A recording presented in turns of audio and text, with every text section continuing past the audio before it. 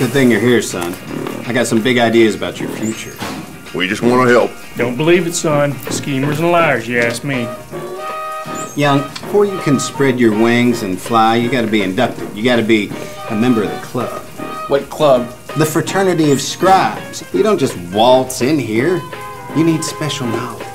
I have a degree in journalism. Spent two years in Japan, Sonny. Don't mean I speak Japanese. Lesson one, quotes. Quotes are how we make a living.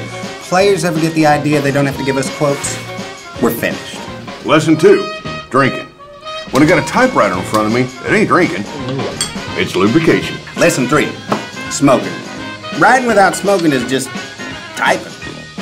Bet they didn't teach you this in journalism school, did they? Uh, no, sir. Now listen up. Lesson 24 is loyalty to each other. If a fellow scribe is ever in need, you have to help him out.